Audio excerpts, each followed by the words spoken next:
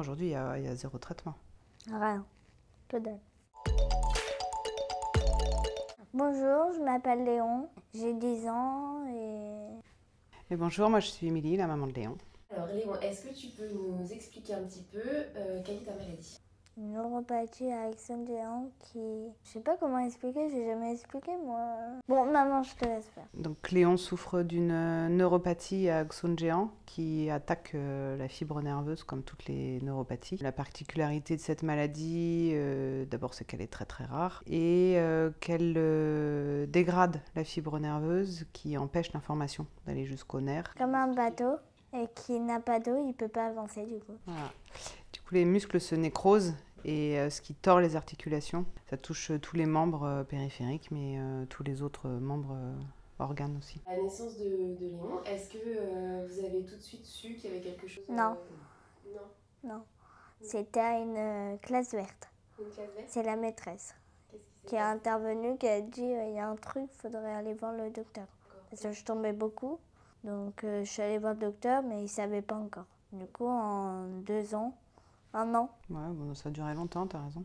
Pendant deux ans, les médecins disaient qu'il n'y avait rien. et du coup, maman et papa, ils ont euh, forcé le docteur à agir. Donc on a fait beaucoup de tests et euh, bon, c'était pas, c'était pas concluant pour eux. Tous les ans, on était alertés par les maîtresses et nous, on voyait bien qu'effectivement, euh, là, il y avait quand même un problème à la marche. On a réussi à avoir un diagnostic en septembre 2018, mais euh, dès deux ans et demi, on voyait qu'il y avait déjà un problème. Pas à la naissance.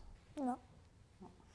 À une naissance, on voyait que dalle. Est-ce que tu as des choses à faire dans ton quotidien pour que justement euh, tes muscles se développent euh, Oui, Oui que- m'étirer. Raconte, tu fais de la kiné quand même. Oui, je fais la kiné mardi, vendredi. Tu fais de la piscine aussi. La piscine. Tout ce qu'on fait là, c'est pour essayer de, de- de conserver la marche le plus longtemps possible. La nuit, il a des attelles beaucoup plus contraignantes euh, qui, qui maintiennent le pied droit et la journée, il en a d'autres. Enfin, j'arrive à marcher sans attelle aussi. Non. Oui, mais moins bien. En fait, personne ne sait rien. Je fais mon quotidien normalement.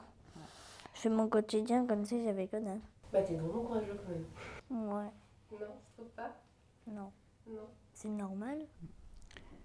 Peut-être pas pour les autres, mais pour moi, c'est normal. Vraiment, euh, je fais comme si j'étais un vrai enfant, quoi. Un enfant qui arrive à tout faire.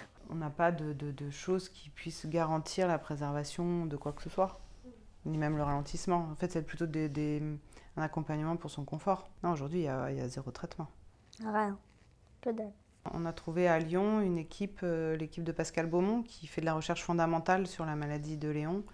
Ils sont malheureusement pas encore passés à la recherche action. Ils n'ont pas dans leur équipe euh, de cliniciens qui puissent euh, mettre en œuvre ce qu'ils ont trouvé. Mais euh, grâce au diagnostic, on a pu faire euh, le lien avec euh, l'équipe de Lyon. Euh, on s'est rendu compte que le Téléthon euh, participait au financement de ces recherches-là. Et donc ça nous a permis euh, de créer une association. Lausanne.